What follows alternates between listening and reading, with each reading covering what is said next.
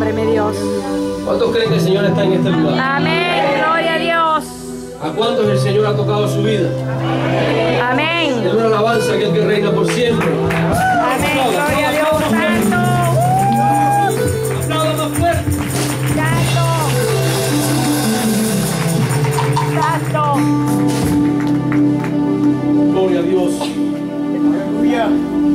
Estar tranquilo cuando la presencia de Dios pues Amén. se mueve en Gloria a Dios.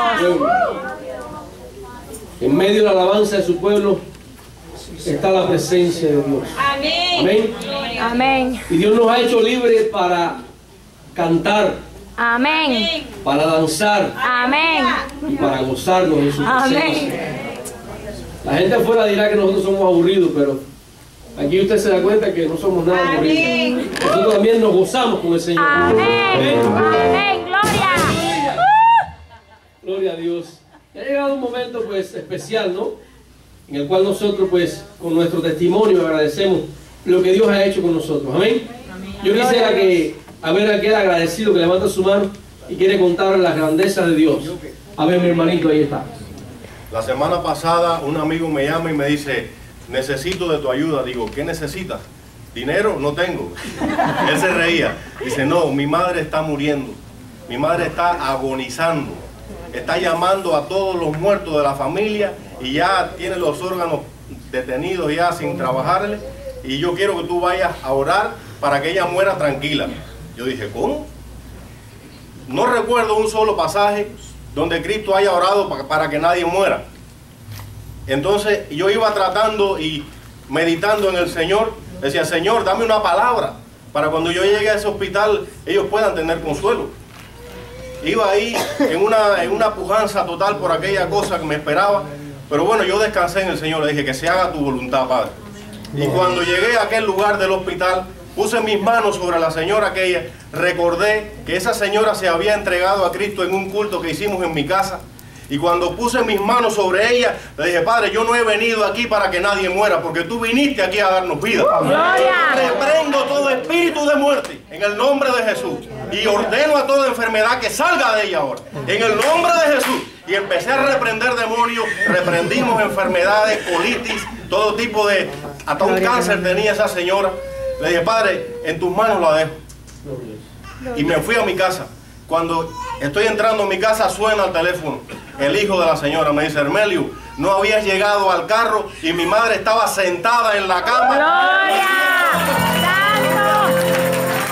Cuando se sentó en la cama, dijo, yo quiero que me traigan sopa. Aleluya. Hacía 15 días que no ingería alimentos. Le estaban eh, alimentando por un tubo en su, en su estómago. Y pidió sopa. Y esta señora hoy está caminando en su casa. Gloria a Dios. Santo. Santo. Tú eres fiel. Tú eres bueno, mi Dios. Tú eres maravilloso. Eso es lo que pasa cuando nosotros nos atrevemos a creer a Dios. Cuando Amén. nosotros declaramos la palabra con fe. Amén. Gloria. ¿Alguien más? Gloria a Dios. Allá mi hermanito, Delvi. Eh, yo di este testimonio el miércoles, eh, pero quiero repetirlo porque muchos de ustedes no estaban quizás. Eh, me llamó una señora también de Tampa, ella fue mi paciente, tiene una niña en que es handicap, ya una mujer, tiene 50 y pico años la muchacha, está en silla de ruedas. Y hace como dos meses le detectaron cáncer en la cervix, era tan grande que no podían operarla, la había cogido hacia la pelvis y creo que una cadera, según me decía ella. Entonces le hicieron cantidad de exámenes y decidieron darle radiación. Eh, ella me dice, yo quiero que, que hables con el pastor para que el pastor ore por ella. Y yo le dije, ok, yo voy al sábado, al sábado de ayuno y yo te voy a llamar a las 10 de la mañana, que estamos todos ahí en el grupo de, de evangelismo y estaban los hermanos del ayuno. Cuando llego acá, el pastor no estaba. Yo le había hablado de los testimonios, que se eso cuando dije, no le voy a decir que el pastor no está para que no pierda la fe. Estaba el hermano Tomás y digo, Tomás, quiero que ores por ella. Tomás oró por ella. Hermanos, hace dos meses de esto más o menos, esta semana me llamó llorando y me decía, Debbie, no lo creo. Dice, ¿qué pasó? Dice, le empezaron a hacer exámenes de buenas a primera a mi hija porque no le encuentran el cáncer. Y todo desapareció. Gloria a Dios. Aleluya. Santo. Señor. Tú eres fiel, oh Dios. Dios es un Dios de poder. Tú Amén. Y eso es lo que usted tiene que predicar. El Dios de poder. Aquí mi hermana Maicel quiere testificar también. Sí, yo quiero darle muchas gracias al Señor porque el otro día el Señor nos sacó de la muerte a mi esposo y a mí, a los dos. Nosotros fuimos a, coincidentemente, porque el diablo es mentiroso, Fuimos a, un funeral a despedir a una señora, bueno, allí, que estaba bien fallecido. Y él se inyectó la insulina, pero no comió. Un gran error. Cuando salimos de allí, que él se montó en el auto, él, yo lo empecé a notar extraño, pero nunca había visto una, algo así. Yo solo sé que cuando, en vez de coger por el camino, que era bien cerquita, se montó en el expressway a las once y media de la noche y nos perdimos. Pero aparte de que nos perdimos, él no coordinaba el camino. Iba en zigzag. Y era que le había bajado tanto el azúcar que ya él no coordinaba. No sabía dónde estaba. No sabía absolutamente nada. Absolutamente nada. Y yo cuando vi aquello me asusté porque yo no manejo. eh, no, entiendo, no entiendo mucho de las direcciones. Y entonces le logré que él aparcara. O sea, le dije, échate a un lado, logró- logré que parqueara ahí. Y ahí empecé a clamar a Dios porque no tenía otra opción. Llamé a su hijo por teléfono, le dije, nos montamos en la I-75. ya. Y eso era lejísimo. ¿Por dónde era, Rey?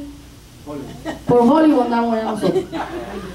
Y ahí empecé a orar, pero fue tan rápido, le estoy haciendo, lo- se lo voy a hacer más rápido porque fue más rápido la respuesta de Dios todavía. Llegó la grúa de camino, empezó a, ma- a marcar, o sea, a alumbrar. Cogí el teléfono, le, eh, le puse el teléfono y le explicó la dirección al hijo de él.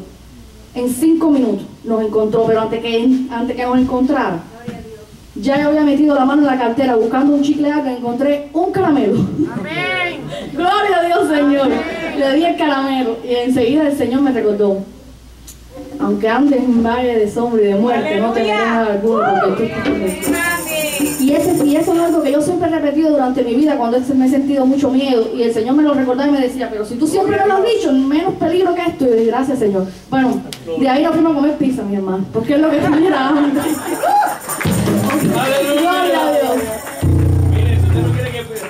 pierda, denle un GPS, un caramelo y pizza. Gloria a Dios, de Rey Pizza. Gloria al Señor. Nos gozamos con los testimonios, amén, porque Dios es un Dios grande, un Dios bueno, Dios misericordioso. ¿Alguien más? Allá mi hermana tiene un testimonio. Hermano, que Dios los bendiga. Yo doy gracias a Dios por tengo que dar muchas gracias por tantas cosas, pero el domingo pasado eh, estaba aquí de visita una prima del esposo de mi hija de España. Y yo no había podido hablarle, no había podido encontrar el camino de hablarle de Dios. Y Dios por la noche, el sábado pasado, me puso en la mente que yo le diera un tratado. Un tratado que yo había traído de Cuba, que es un librito que dice El Camino a Dios, que tiene muchas cosas que yo traje de allá de Cuba. Y Dios me lo puso en la mente, el Espíritu Santo sí me lo Entonces, por la mañana yo dije, voy para mi iglesia y, y después voy con mi hija para el aeropuerto. Pero a la hora ya yo venir para acá, mi hija me dijo que no podía venir a recogerme, que a ver si el hermano me venía y me recogía.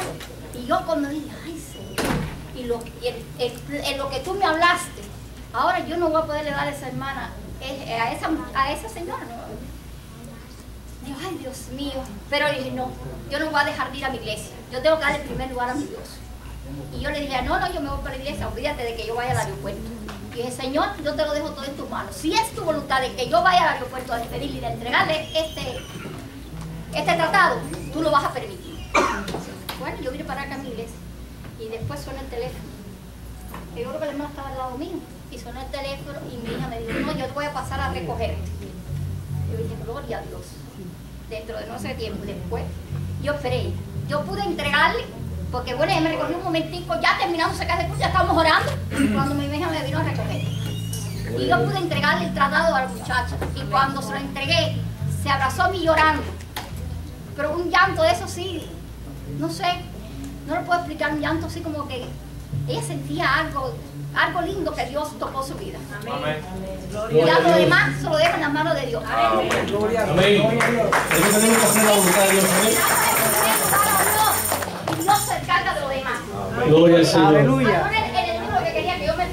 y amor nunca te Gloria a Dios. Aleluya. Mire hermano, cuando, nos- cuando Dios hace con nosotros cosas, pues usted tiene que testificar. Usted tiene que hablar de las cosas que Dios hace, porque si usted lo dice, pues Dios seguirá haciendo cosas grandes. Amén. Y un último testimonio. Eh, ahí, es que hay muchos testimonios acá. Vamos a guardar para, para el próximo culto. Ahí le voy a pedir a mi hermanita que, que dé su testimonio. Gloria a Dios. Bueno, yo quiero darle gracias a Dios porque yo eh, tuve la bendición de poder ayer poder ir a ver a mi hijo. Porque una hermana, Barbarita, que no sé si está aquí, ella también tiene su hijo allá y me dijo, Cari, ¿quiere ir a ver a tu hijo? Yo, ¿cómo no? Aunque me perdí el evangelismo, pero él había dicho que si yo podía ir, que fuera. Y lo fui a ver y llevaba a mi hermano los 40 pesos solamente que tenía y los gasté allá.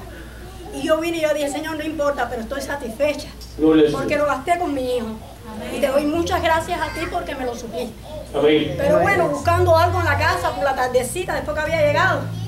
Y abro el, el mueble del televisor, que allí yo tengo un búcaro, qué sé yo, y miro el búcaro, me dio la idea de mirar para el búcaro.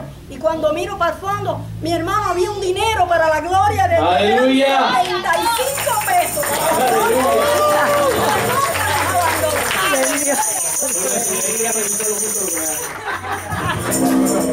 Vamos a pedirle al hermano Pastor Abraham Vila que pase por acá con la parte oficial. Amén. Gloria a Dios. ¿Quién vive?